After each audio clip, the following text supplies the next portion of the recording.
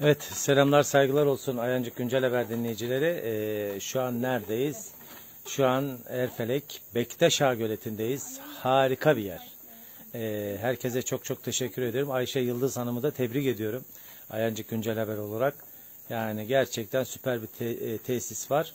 Ee, ben şu anda e, gölete gölete bir e, seyir terası yapılmış. Oradayım. Seyir terasından e, size sesleniyorum.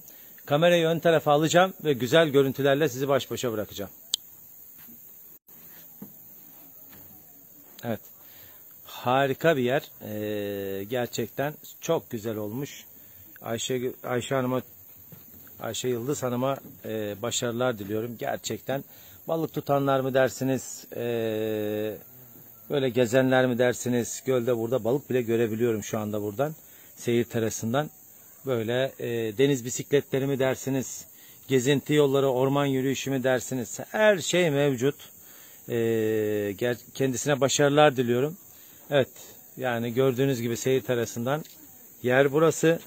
E, çok çok güzel. Hiçbir giriş ücreti dahi yok. Burayı herkese tavsiye ederim. Burayı herkese tavsiye ederim. Giriş ücreti de yok. Deniz bisikletlerinden tutun da e, yani her şey var. Konaklama da mevcut. Kendisinin söylediğine göre. Evet, e, konaklama da mevcut. Şöyle alıyorum kameramı ön tarafa. Harika bir yer. Harika bir yer. Evet, Ayancı Güncel Haberler olarak da Ayşe Yıldız Hanım'a da başarıların devamını diliyorum. E, harika bir yer. Evet, herkesin gelmesini, görmesini istediğim bir yer. Teşekkür ediyorum herkese.